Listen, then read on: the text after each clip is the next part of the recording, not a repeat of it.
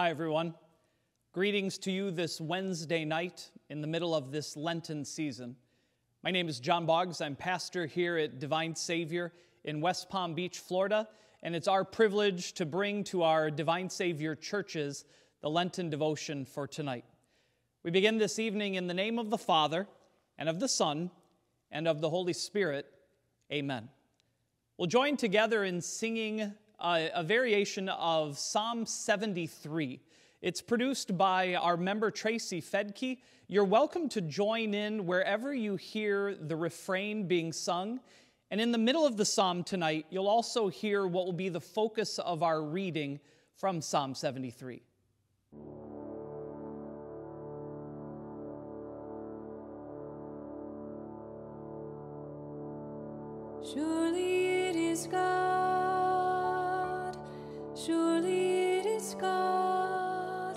Saves me.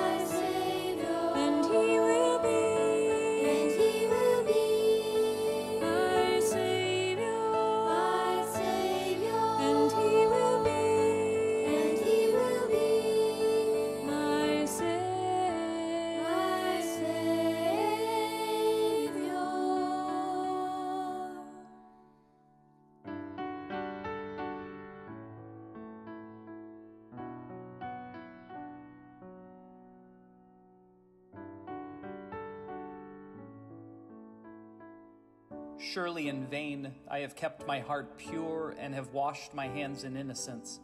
All day long I have been afflicted, and every morning brings new punishments. Yet I am always with you.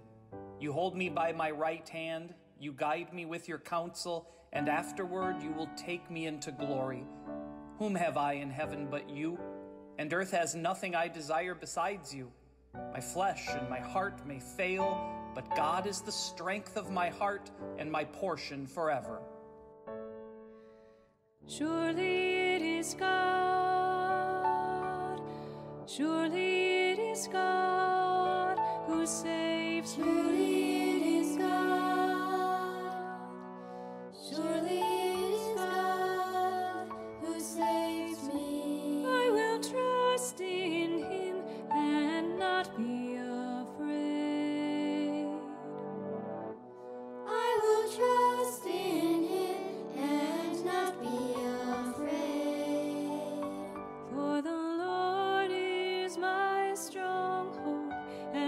And my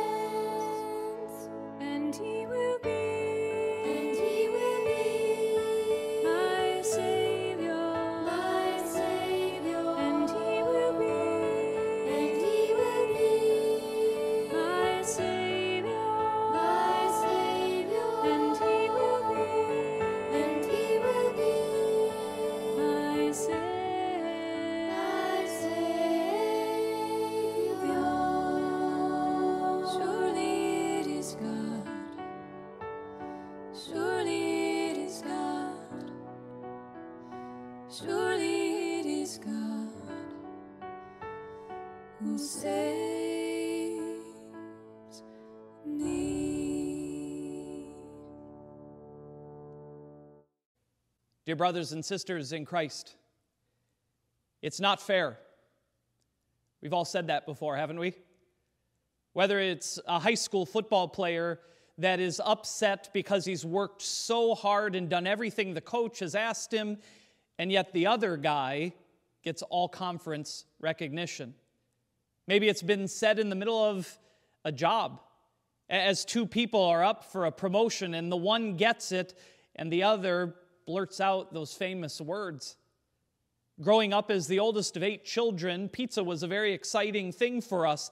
But as mom would put the pieces out on the different plates for the children, if you got one of those pieces that had the big bubble, all of us have seen that before, that's not the one you want.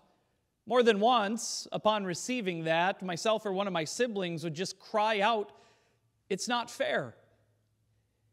That phrase is really almost the lament of the entire second half of the book of Psalms. Uh, the writers, one after another after another, beginning with our psalm tonight, Psalm 73, would cry out, It's not fair. They were lamenting that for Israel because Israel saw everyone prospering around them. They, they saw the Babylonians, they saw the Assyrians, they saw the people to their north and to the east and to the south, and all of them seemed to be doing great while they were constantly afflicted with troubles and hardships and the constant threat of being overcome. Well, we get that, don't we? It's not fair was not just a lament from Old Testament Israel. It's not just a lament from earlier in our lives, it's a lament that is heard over and over and over again and comes from hearts, which leads into our mouths that describes our lives. Have you ever thought to yourself, Woe is me? I, I don't know who taught me, but when I was younger, I learned the kids' song, and it's a horrible kids' song. It goes, Nobody likes me. Everybody hates me.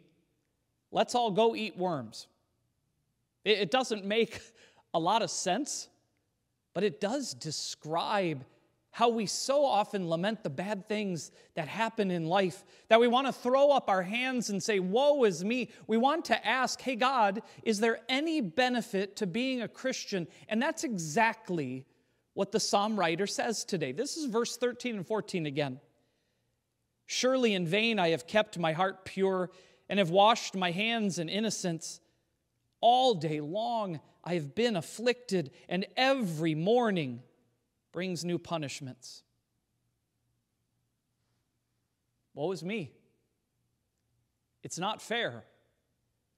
We've all been there, we've all said it, and yet then we remember. First of all, maybe we remember that appearances can be deceiving, that the people that we think are prospering and have everything figured out are struggling just as much as we are in life. But there's something more that we have to understand and come to grips with. And it's what the psalmist shares with us this evening in verses 23 through 26. Yet I am always with you, you hold me by my right hand. You guide me with your counsel, and afterward you will take me into glory. Whom have I in heaven but you? And earth has nothing I desire besides you. My flesh and my heart may fail, but God is the strength of my heart and my portion forever. My dear friends, I know that the struggle is real, but the struggle is also different. It affects all of us in different ways, in different amounts, and in different times of life. We all struggle. And yet, nothing can take away not only what our God gives to us in this life, but also who our God declares us to be. This Lenten season is one of repentance we come to our God on Wednesday nights. We gather in worship on Sunday mornings and we say, Lord, have mercy on me, a sinner. Repentant hearts cry that out. But repentance just isn't saying, Lord, I've messed up, I'm struggling. It's also trusting in the Lord for forgiveness.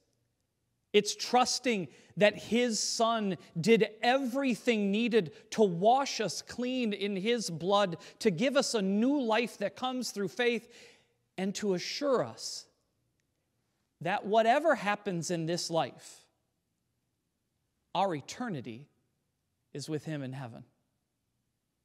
What a beautiful thing that is that a, that a believer's treasure in life is really God Himself. And that changes stuff, doesn't it? It changes our cries of unfair. It, it changes, it mutes our, our wants of uh, to get ahead of other people.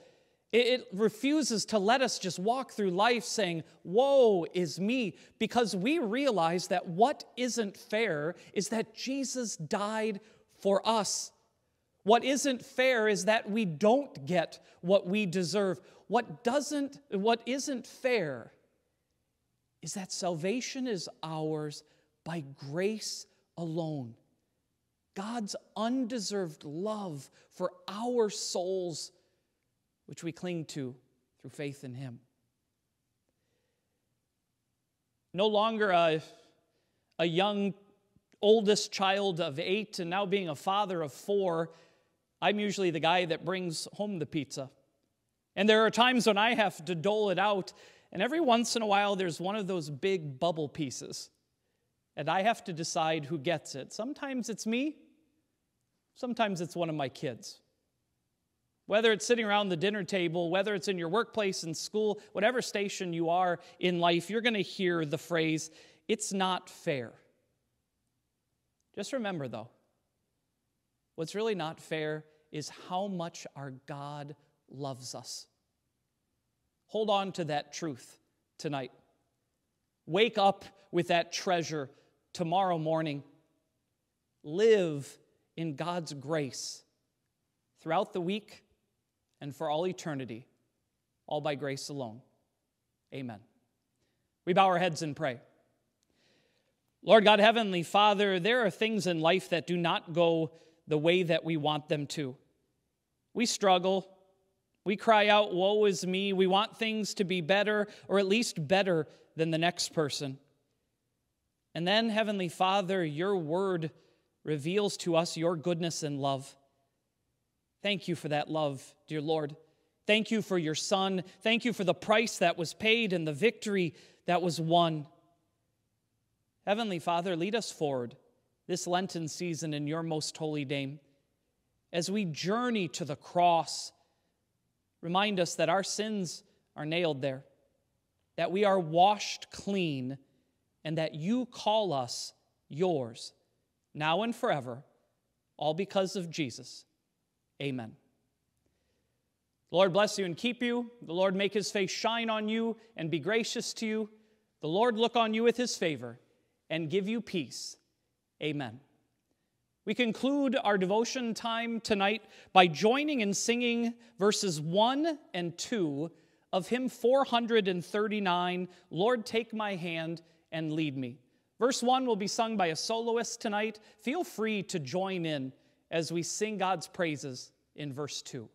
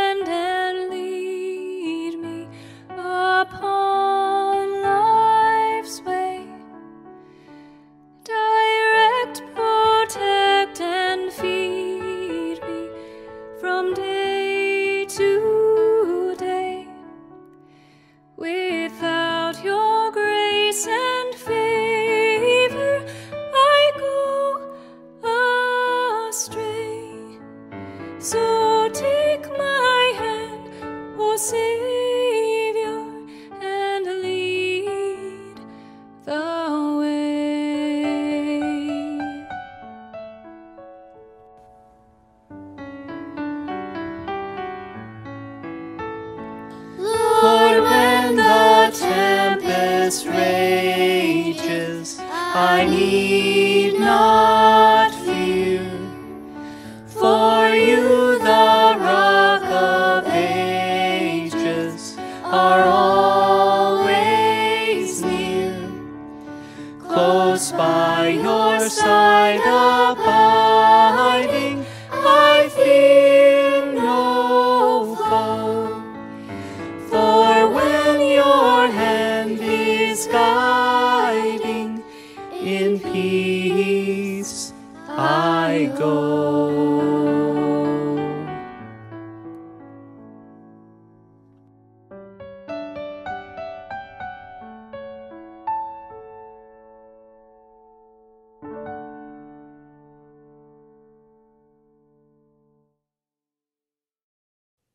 Thanks so much for joining us here in West Palm Beach, Florida tonight as we gather around our God's Word and worship His most holy name. If you're visiting the online service for one of our campuses tonight and you'd like to learn more about Divine Savior, check us out at any time at divinesaviorchurch.com. Following a short postlude hymn, the study questions will appear on the screen. Feel free to just hit pause and discuss them with the people that you have the pleasure of spending time with this evening. Have a great night.